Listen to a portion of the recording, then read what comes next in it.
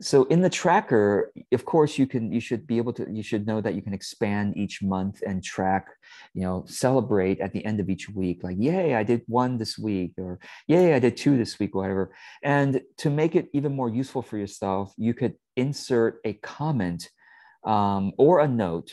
Uh, what's the difference? Uh, a comment is automatic well, where did it go? Oh it's um, i'm sorry i have to shrink my screen. I don't know where the comment went. Oh there it is um, the comment testing one two three i'm not going to do it right now but it, it and it automatically has a timestamp. It's almost like little posts for yourself throughout and then you'll be able to see all your comments in in uh, in here. Now be sure to make a copy for yourself before you start inserting comments because this is the template for everybody.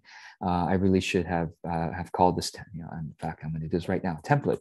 Okay so make a copy then you can start inserting. Now if you insert just a note it will it will not have a timestamp. You can you know uh, you know it'll, just look like that. So I think comments are generally more fun. You could play with it, but uh, but yeah. So um, you, your comments and your comments can include links, and links will be clickable within comments. Links are not clickable within notes.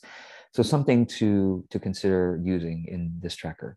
Oh, and then of course, remember you can always collapse the month by clicking on the minus sign. So plus to expand it, minus to collapse. You can you can of course open up multiple months at once if you'd like to.